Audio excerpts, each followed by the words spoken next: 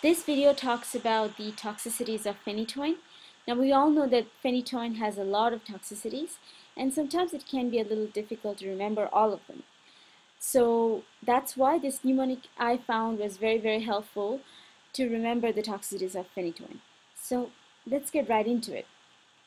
So the mnemonic is light and MOPS.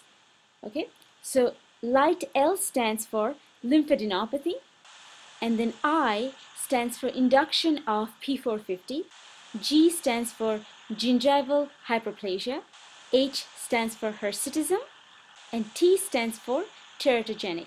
Now it causes uh, fetal hydantoin syndrome. That's the syndrome that is caused by the toxicity of phenytoin onto the fetus.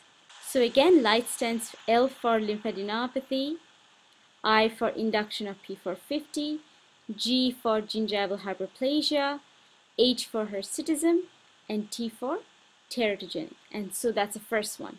Moving on to AND. AND stands for ataxia, nystagmus, and diplopia. So all those uh, um, all those symptoms that has to do with balance. Okay, so ataxia, nystagmus, and diplopia. Moving on to MOPS, you do have to keep in mind that there's two M's and there's two S's. Okay, light and MOPS. So M stands for megaloblastic anemia. The second M stands for malignant hyperthermia. O really doesn't stand for anything, that's why I put a cross in the middle. P stands for peripheral neuropathy. S stands for SLE, and the other S stands for sedation. And that's it. Those are all the toxicities of phenytoin.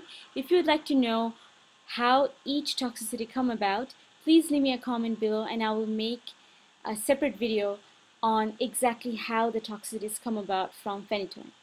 Hope you liked it and please let me know if you found this helpful.